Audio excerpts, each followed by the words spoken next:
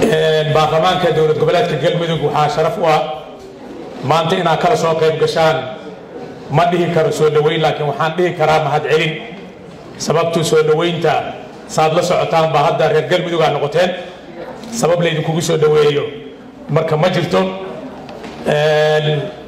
Maalintii sideedda bisha uu soo bilaabay madaxweyne waare iyo wafdigii la socday xildhibaanada iyo wasiirada ka tirsanaay madaxweynihii ugu horreeye aan soo dhoweynay iyo wafdigiisa uu ahay maanta waxaa laga joogaa laba asbuuc. Marka laba asbuuc kadib waxaa ila quman inaan mahadcelin ka dhigno.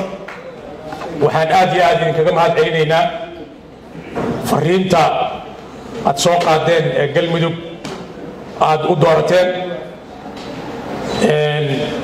Waxaan rabaa inaan wax yar xiso arrinta galmudug iyo gogoshaan laftirkeeda sida ay ku timid oo laga yaabo siday hadda noqotay xataa inagu inaynaan ogeyn inay saa noqonayso.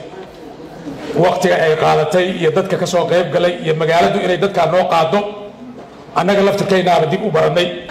Marka waxaan idiin sheegayaa reer galmudug waxa weeye sharaf iyo karaamada maanta shirkan yacni uu u soo hooyey. Marka meesha lagu laabto qof walba deegaankeedu ay ku laabtaan waxaan idiin sheegayaa yacni wax aydan horay u haysan baad u helaysaan.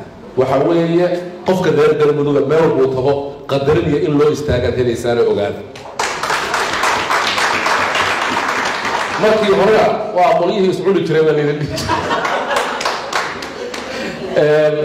labadii arrinba waa lagu guulaystay galmudugna sumcaddeedii iyo sharafteedii iyo karaamadeedii waa soo ceshatay inay tahay deegaan nabdoon inay yihiin dad goob ah inay yihiin dad waxa weeye dib u heshisiinta ka shaqeeya inay galmudug tahay. Xataa ganacsiga waxa weeye dadkan oo dhan iyo dadka ay ka soo jeedaan meesha ganacsiga u soo doonan doonaan. Sababtoo ah meel intaasoo boqoloo kilomitr lagu dhex safri karo dalkan kuma yaalaba